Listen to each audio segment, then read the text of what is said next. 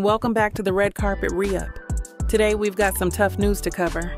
Blueface, the rapper who's been behind bars since January for an alleged probation violation, finally learned his fate in court today. Stick around as we break down the details of his sentencing and the reactions from his family. So let's dive into what happened today. Blueface was in court for his sentencing hearing, and the big news is that he's been sentenced to four years in prison.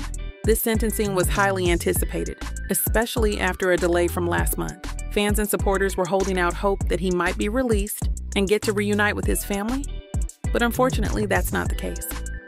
In the lead up to the court date, Blueface's father, Johnathan Porter Sr., took to social media to share a heartfelt message. He asked for prayers and hoped for leniency from the judge. After the sentencing, he expressed his heartbreak and disappointment. Good afternoon, y'all. Y'all probably tell the results by the way I look. Gave him four years. Stay strong, Revealing the four year prison term, his mother, Karlissa Saffold, has also been vocal about the situation.